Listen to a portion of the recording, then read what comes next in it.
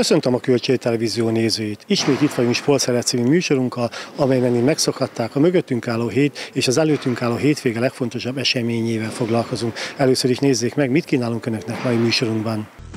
A bennmaradás szempontjából fontos meccset nyertek Egerszegen a cápák. Szomszédvári rangadót játszik a Debrecennel a kisvárdai futballcsapat. Zsinórban harmadik meccsét nyerte meg az MD3-ban a Sényű. 16 nyíregyházi úszó utazott el a Debreceni Országos Bajnokságra. Öt csapatot versenyeztetett a szezonban a Szabolcsi Jégsport Egyesület. A bennmaradás szempontjából fontos mérkőzés nyert idegenben a Hübner Nyíregyháza Blues A kékcápák Zalaegerszegen léptek pályára, és 87-82-es győzelemmel távoztak a csarnokból.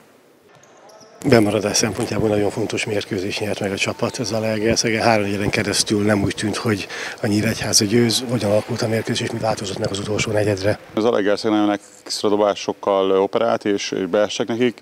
Úgy érzem, hogy ott voltunk végig a nyomukban, de, de valóban ezek az apróságok, hogy mi az üres helyzet, illetve ők egy emberrel bedobták, vagy falotkosárjót dobtak, ezek hiányoztak, és, és talán egy kicsit el is bízták magukat a negyedik negyedre. Mi viszont arra tartogattuk a legjobb dobóformát, hála jó Istennek, illetve nagyon jól védekeztünk, és ebből a jó, jó védekezésünkből jó ritmusban tudtunk támadni, volt benti kosarunk is, kinti dobásunk is, tehát így, így alakult. Még egyszer mondom, tehát úgy érzem, hogy ott voltunk végig az a Legerszeg nyomában, látótávolságon belül, és szerintem az, hogy a csapatnak nagyon jó mentalitása volt, és, és hittek végig a sikerben, hiszen mínusz 12 és a negyedik negyedben nem az volt, hogy világvége hangulat, hanem, hanem hogy hogy tudjuk megnyerni. Azt szokták mondani, hogy egy rájátszásnak akár alul, akár felül mindig más a hangulata, más a hangulatok a meccsek. Lehet ezt érezni ezeken a mérkőzéseken? Igen, főleg itt a, úgy gondolom, hogy a középházban és az alsóházban itt minden meccs már playoff meccs érdekesség, hogy a leg, legfelső ötben ott, ott van most egy kicsit lazítás, de, de valóban itt mint, mint a playoff lenne, tehát minden meccs vére, vére és tétre megy. Lehet is érezni, hiszen, hiszen azért van feszültség is a pályán, játékosok között is, meg szituációkat nem mindig ugyanúgy látja mindenki, de, de nagyon hangulat van, és erre jól reagált a csapat most. Következő mérkőzés egy pécsi fellépés lesz, ha sikerülne nyerni, és úgy alakul a másikra, és már akár most ki lehet harcolni ebben a körben a bennmaradás. Foglalkoztak ezzel, vagy csak a Pécsre koncentráltok? Csak a Pécsre koncentrálunk, hiszen még sok van vissza, és, és senkinek sem dőlt el még véglegesen a sorsa, tehát biztos, hogy mindenki a utolsó lehet, leheték fog küzdeni, de abszolút a Pécsre fókuszálunk milyen mérkőzése számít, azt mit kell átmenteni a legutóbbi meccsekből erre a találkozóra? Itt az Alegerszegi negyedik, negyedik beli védekezést kellene átmenteni, illetve, illetve azt mondom, hogy a támadó játékunkban olyan szempontból jó volt, hogy, hogy jó helyzeteket vállaltunk el, és az első fél időben is volt olyan, hogy, hogy nem ment be, viszont, viszont nagyon jó labdajáratással jutottunk el a helyzetig. Ezeket kell megtartani, hiszen hosszú távon ebből, ebből profitálni fogunk, hiszen a jó kialakított helyzetből lesz valószínűleg a jó dobás. Szomszédvári rangadót játszik szombaton a kisvárdai futballcsapat. Erős Gábor együttese az NB egy 29. fordulójában 14 órai kezdettel a Debrecen fogadja a Várkerti stadionban. Legutóbb egy olyan mérkőzés játszott a Kisvárda, amelyen akár sok minden is eldőlhetett volna. Az ezüst, illetve a bronzérem sorsát illetően vége egy gól nélküli döntetlent játszottatok Felcsi úton. Megint adódik a kérdés, egy ilyen eredmény után üres az a bizonyos pohár félig vagy félig tele. Most inkább azt mondanám, hogy félig tele van az a pohár, hiszen azért a Puskás Akadémia otthonában döntettet játszani és onnan elhozni egy pontot, azt semmiképpen nem mondanám rossz eredménynek. Egy kicsit zártabban játszott mindkét csapat, óvatosabb volt, az az igazság. Sajnos 7 volt kaptunk a legutolsó két meccsen, és egy kicsit stabilizálnunk kellett a védekezésünket. Ezt azt gondolom, hogy sikerült is, és ebből kifolyólag volt egy kicsit óvatosabb a csapatnak a játéka lehet érezni, említetted ezt a kapott hét gólt, meg azért pontok is csordogálnak csak az utóbbi fordulókban, hogy közelítünk a szezon végéhez? Igen, lehet ezt érezni, nem akarom én semmire sem fogni különösebben, de azért voltak hiányzóink, nem nagyon tudtunk kiállni sohasem teljes csapattal, és azért nekünk nem olyan nagyon bő a keretünk, mint akár egy Ferencvárosnak, egy Fehérvárnak, vagy akár a Puskás Akadémiának. Úgyhogy igen, sajnos elhúztak pontok, de még ami nagyon fontos, hogy a kezünkben van, hiszen öt forduló a vég előtt, hét pont előnyünk van a negyedik helyezettel szemben, és meg kell tudni tartani ezt az előnyt, és a csapatot alkalmasnak tartom erre, hogy sikerüljön megőrizni, és, és megszerezzük az állított harmadik, vagy esetleg a második helyet. A hétvégén egy olyan mérkőzés következik, amelynek egy pici pikantériája mindig van, hiszen most már évek óta a Kisvárda Debrecen vagy a Debrecen Kisvárda meccs mondható az NBA-ben keleti rangadónak. Milyen mérkőzésre számítasz? Számunkra egy nagyon-nagyon fontos mérkőzésről beszélünk, hiszen említettük itt a Puskás Akadémiánál szerzett egy pontot, de igazán ennek akkor lenne értéke, hogyha a Debrecen hazai pályán meg tudnánk verni, és akkor nem gondolom, hogy foglalkoznunk kell a többi pályán, hogy milyen eredmények születnek, viszont ez a forduló rengeteget segíthetne is, hiszen egy Ferencváros Újpest van, egy Fehérvár Puskás Akadémia és az Alegerszeg a Paksal találkozik, tehát olyan párosításokon mögöttünk, akik vannak, mindenki ugye egymással játszanak, kivétel természetesen, a, ugye a Ferencváros, a Puskások előttünk vannak, de alakulhatnának úgy is az eredmények, hogy növelni tudnánk az előnyünket, de ehhez hangsúlyozom az a legfontosabb, hogy mi a saját mérkőzésünket megnyerjük hazai pályán. Jelentette valamit az, hogy a Debrecen a legutóbbi győzelmének köszönhetően egy picit eltávolodott a veszélyes zónától, és talán nyugodtabban játszhat, mint korábban?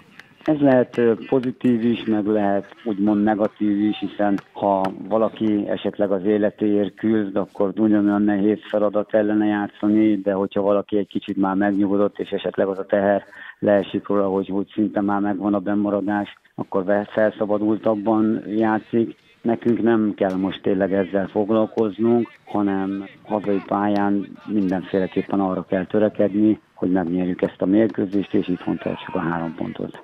Említetted a hiányzókat, most vannak-e, lesznek-e hiányzók?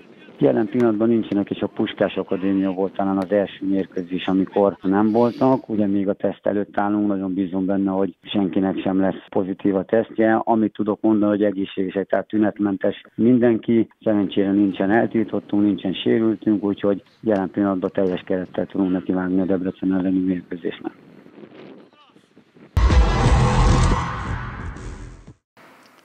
Zsinórban harmadik mérkőzését nyerte meg a Sényei futballcsapat.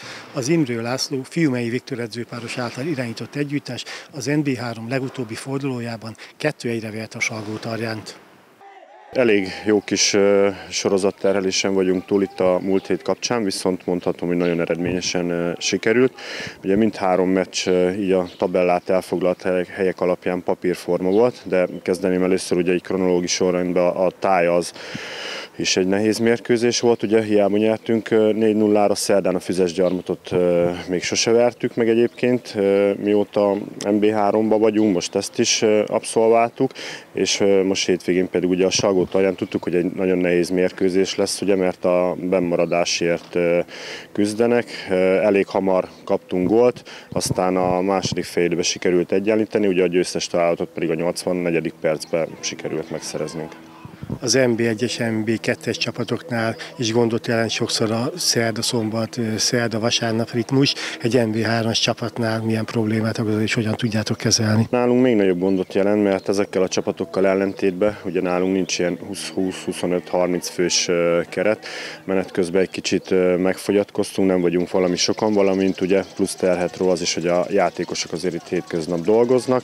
de valahogy úgy próbáltuk egy kicsit forgatni a, a, azt a pár játékost, amivel rendelkezünk, de így hál' Istennek utólag jól jöttünk ki belőle. Ezzel most szerzett 9 ponttal hogy néz ki az eddigi tavaszi szereplésetek? Én úgy gondolom, hogy teljesen rendben van az eddigi mm, szereplésünk. Hát hiányérzet nagyon-nagyon pici van csak és, egyébként, de ugye a foci néha vesz, néha ad, vagyis néha elvesz, néha ad. Valahol úgy ez most nálunk szerintem mixben van. Egyetlen egy meccs lók ki ebből a sorból, a, a Debrecen 2 elleni idegenbeli 5-1-es vereség, de ezt leszámítva, hogy a többi meccs nagyjából jól alakult milyen lendületet adhat ez a három győzelem a folytatásra, mert jobb önbizaló növelő és jobb motiváló dolog nem kell, mint a győzelem. Most tényleg egy jó sorozatban vagyunk, az elmúlt négy mérkőzésből van egy döntetlenünk, meg három győzelmünk. Van még hátra hét forduló, ugye van 51 pontunk, a, előttünk a Kisvárda 2 egy pontra, a Tiszaújváros pedig három pontra, úgyhogy ezek csapatok még lőtávol belül vannak, viszont mögöttünk a 11. helyik ilyen 46-44 pontos csapatok vannak. Hát a hátralévő cél az, hogy a minimális célunk tavaly ugye 57 pontot szereztünk, ezt szeretnénk most valahogy megugrani, valamint minél jobban megszilárdítani nagyjából ezt a helyet, ahol most vagyunk következő fellépés a DVTK 2 ellen lesz. Idegenben milyen meccset lehet számítani annak tükrében, ugye, hogy a DVTK első csapata sincs most per pillanat a legjobb formában és a legjobb helyzetben. Igen, ugye ebből kifolyólag visszajátszókra nem nagyon számítunk, bár ez ugye mindig ott meccs előtt derül ki, hogy a második csapatok milyen összetételbe lépnek pályára. Itthon kikaptunk ősszel ugye a DVTK 2-től, most szeretnénk visszavágni, viszont mindig nagyon nehéz kínlódós meccseket játszunk velük, meg a, a, mondom a második csapatokra igazából nem is nagyon lehet készülni, mert mindig változik a, az összetételük. Hát megpróbálunk minél jobb eredményt elérni.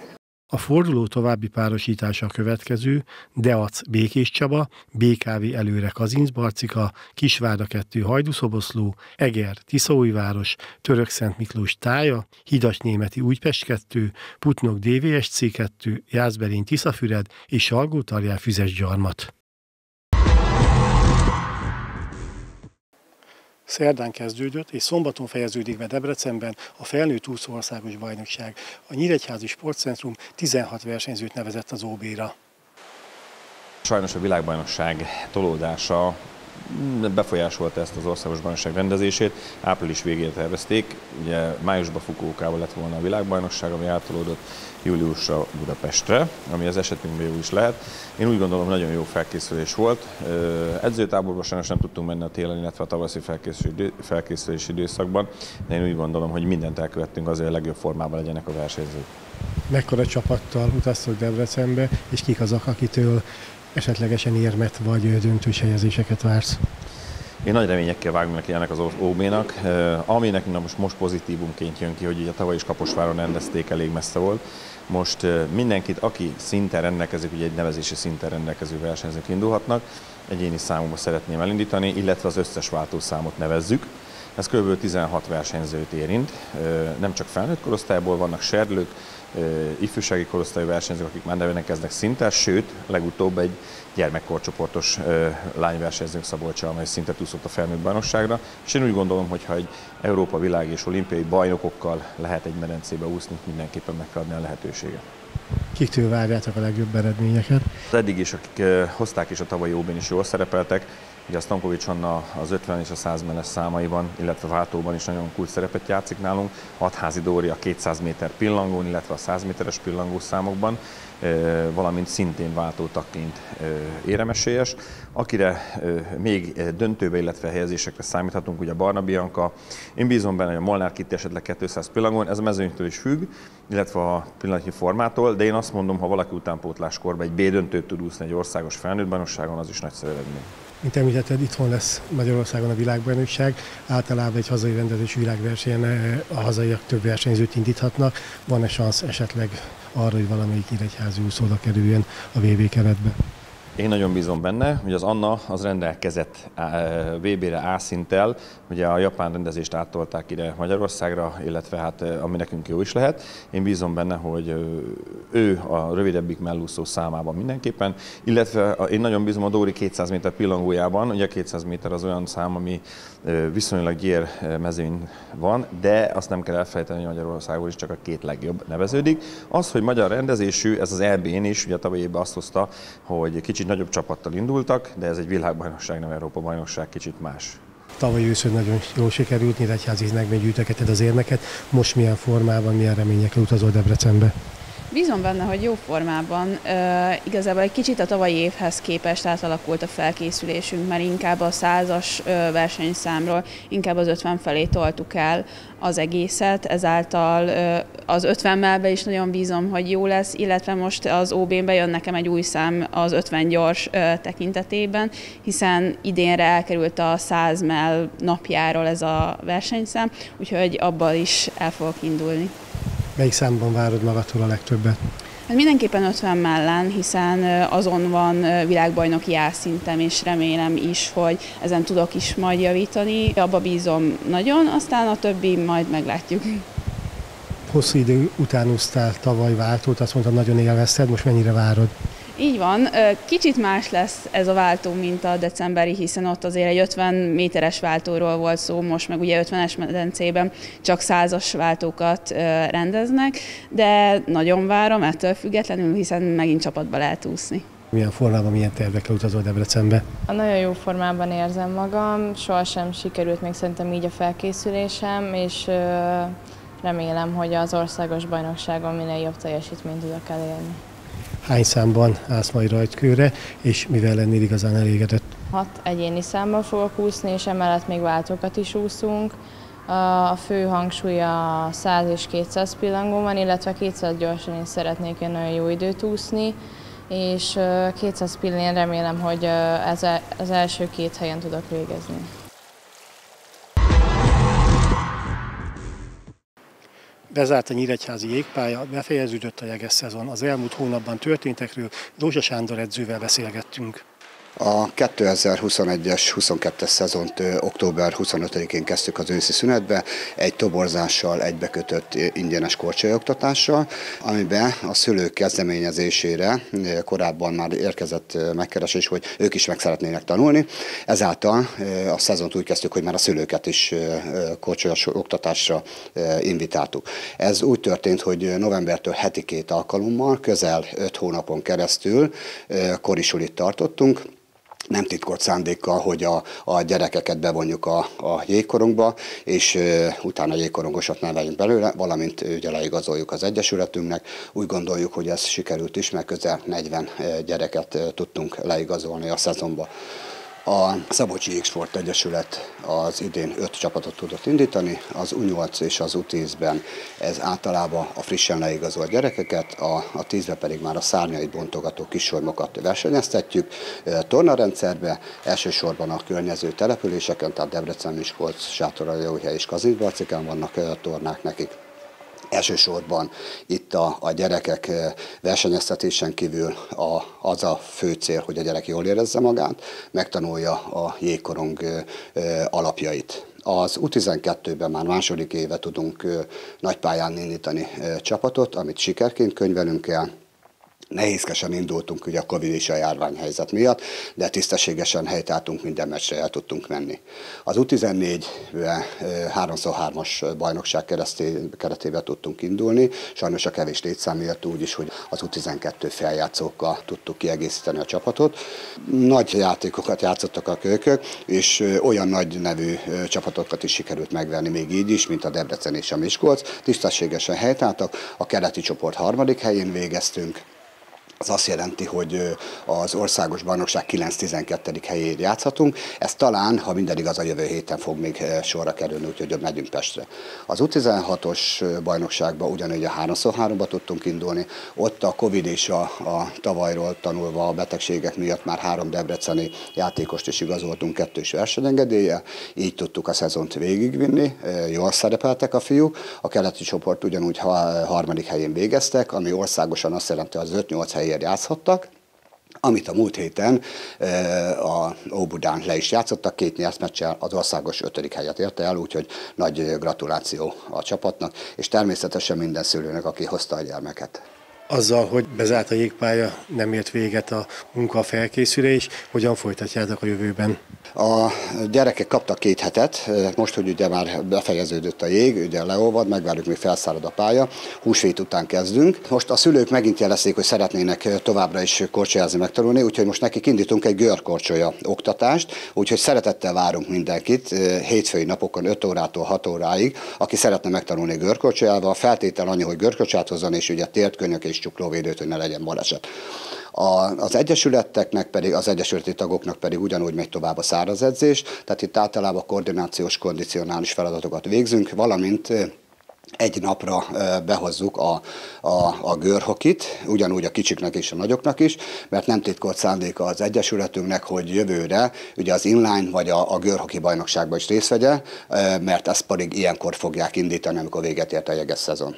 Már régóta tervezitek, hogy teljesen körbefeditek oldalról is, befeditek a pályát, ami jelentősen megnövelni a szezon hosszát. Mikorra realizálódhat ez? Menetben van, tehát nem tudok pontosat én se. Mi nagyon bízunk benne, hogy, hogy az idén ennek körbefedése kerül, és el tudjuk kezdeni már ősszel a, a jeges szezont.